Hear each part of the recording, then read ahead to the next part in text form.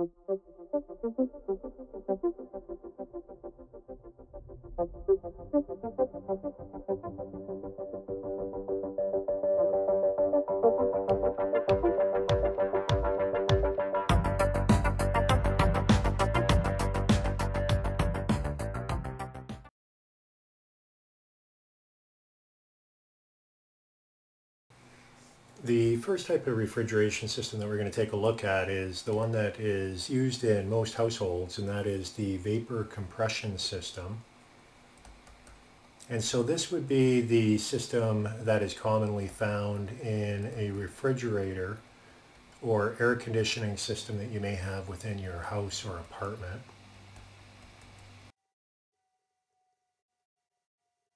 And so what happens here is the refrigerant undergoes a phase change as part of the cycle.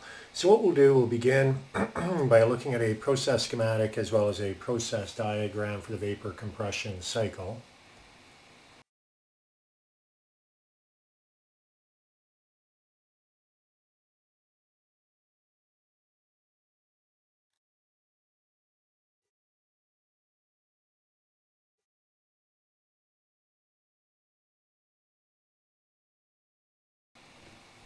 So there we can see our uh, schematic as well as diagram uh, for the vapor compression system. And what we have, uh, remember when we were looking at the Rankine, I always said start at a compressed liquid. So that would be state one. Well, when you're looking at a vapor refrigeration cycle, we start at the superheated line, and that is at state one, which is where we go into our compressor. So we compress up, we go to state two, superheated fluid, and then we go into the condenser. So at this point we want to be at a temperature that is higher than our surroundings. So be that the room in the case of a refrigerator uh, or outside in the case of an air conditioning system. And we then reject heat to that surrounding environment and that's why we want to be at a higher temperature. And through that process we then go through a phase change operation taking us to state 3. So there we become a compressed liquid we then go into a throttling or expansion valve, and that is basically a process whereby we reduce the pressure.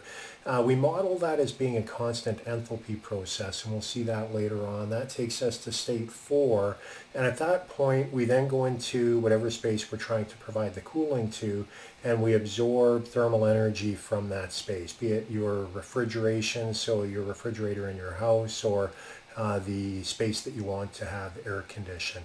And through that process, we go through a boiling process, which we refer to as being evaporation. Um, and through that evaporation process, what happens, then we come back to state one and repeat the cycle again. So that is refrigerator. What we're going to do now, we're going to take a look at a, a video, a couple of clips of an old refrigerator and a new refrigerator. And you'll see the change in design uh, the new refrigerator is a little more compact, but we'll begin with the old refrigerator. So let's take a look at that now. And so what we see, the compressor on the bottom, uh, there's the hot refrigerant going up to the cooling coils, which are mounted on the back. Those are the condensers. And then there's another tube on the left. The, the tube on the left is going up to the evaporators. That will flow into your freezer and provide cooling for your food. The cooling coils on the back, it's basically just a copper pipe with, it's probably a steel uh, wire that's connected to it that also has fins for, for heat transfer. This is a modern refrigerator. Notice there are no uh, coils on the back. Everything has been compactly placed underneath, so it's a lot cleaner. You don't get dust buildup. So there's our compressor. In the middle is a fan, which actually causes forced convection and that comes over our cooling coils, our condenser, and you see the condenser is neatly compacted in the bottom of the unit, no longer on the back and then you can see the line coming out of the compressor just like we had before. So those are two different refrigerators, an old refrigerator and a new refrigerator. Uh, they basically do the same thing except the new design is a little more compact and cleaner.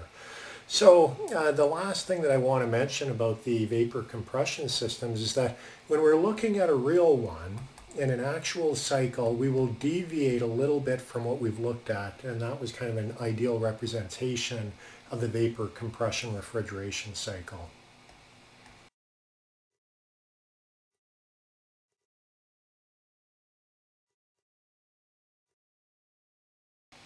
So those are the differences that we would find in a real world system. Let's write out our TS diagram again and we'll look at those points. So we start at saturated vapor line, that's state one, go into the compressor. Then we come back to the liquid region, go into the throttling valve, taking us to four. So that is the representation that we have for an ideal cycle. Now in reality what we're saying is that you'll have some deviations here. Uh, one is that you're going to have pressure drops going from 2 to 3 and consequently the pressure will drop there. You'll have a drop in pressure here and that may take us into a uh, subcooled liquid region for state 3 and superheated for state 1.